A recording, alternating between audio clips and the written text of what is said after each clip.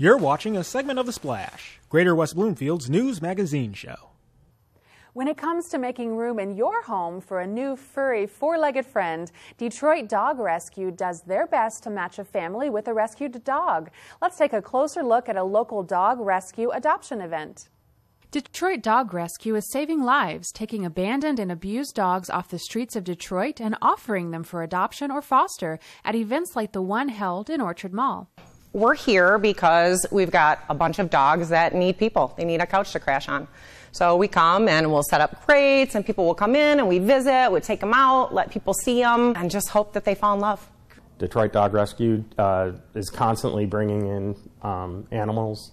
As you know, we as soon as we make room for them, they bring in more. In fact, they just uh, rescued uh, 26 from Detroit Animal Care and Control, and uh, they're getting them uh, medical care right now, and eventually, you know, they'll be available for adoption. If the thought of adopting a dog is just too much for a family, fostering is always an option and is very needed.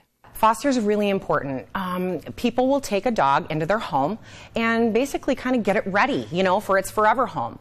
Um, some of our dogs don't know what a door wall is or a ceiling fan or whatever, you know, so they come and they live your life with you and they get ready to go into their own home. It's a huge help. And we can't do what we do without fosters. It's the best thing I could have ever done. If I could help more dogs, I would love to. Dog rescue centers such as Detroit Dog Rescue have a huge impact in the lives of injured and hurting dogs. It's a wonderful organization. I'm on their Facebook page and I, I read some of their articles and I see some of those horrible stories. And I wish Michigan had some stronger laws that would really prosecute these people that abuse dogs. A lot of them come from pretty horrific situations, and you know it's sad, but um, usually the the ending is pretty happy once they get here. I'm always really excited to find dogs homes because once they get to Detroit Dog Rescue, that's the fun part, right? Is we find them great homes with people that love them, and you know that's pretty much my job in life. Working for those happy endings is just one of the many positive reasons Detroit Dog Rescue is growing throughout our state.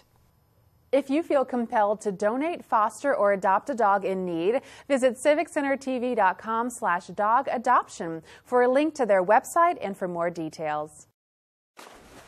Thanks for watching a segment of The Splash. To catch the entire show or other segments, watch us on Comcast Channel 15 or AT&T Channel 99, or look us up online at thesplash.tv and listen to us on WBLD 89.3, the all-new Lakes FM.